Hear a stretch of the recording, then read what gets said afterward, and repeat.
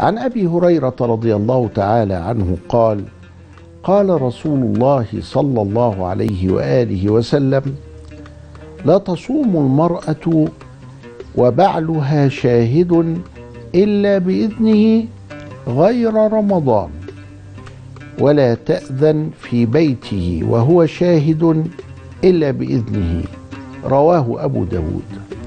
في هذا الحديث يعلي رسول الله صلى الله عليه وآله وسلم من شأن الأسرة.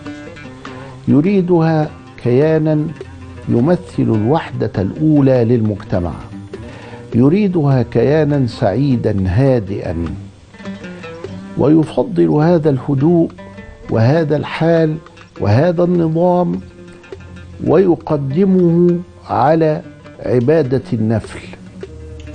ويجعل الزوجة لا تصوم إلا بإذن زوجها في النفل.